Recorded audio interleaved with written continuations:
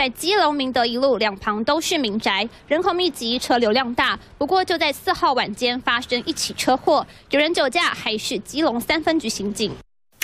脸书分享生活照，从警超过二十年，已经是资深刑警，却犯下酒驾这离谱错误。当时车祸因为撞上违规穿越马路的六旬男子，对方左脚掌小指骨折，结果处理车祸的远警来了，看到是自己人，而且酒测值零点五一，这车祸地点还距离分局不到一百公尺。本分局远警于五月四日晚上发生车祸，经处理远警到达现场后，发现。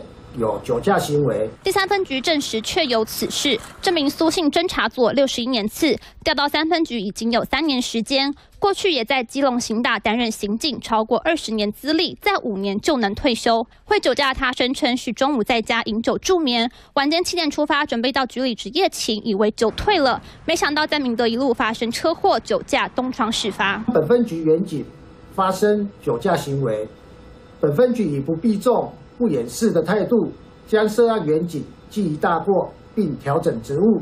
这下整个分局连坐罚，酒驾员警本身一大过，调整职务，分局长跟侦查队长都各被记申诫，副队长也是申诫一次，直属小队长则是记过一次。人民保姆喝酒上路，执法犯法，做了最坏示范，毁了前程，也让玻璃市蒙上负面形象。三立新闻林俊华、李佩贤，基隆采访。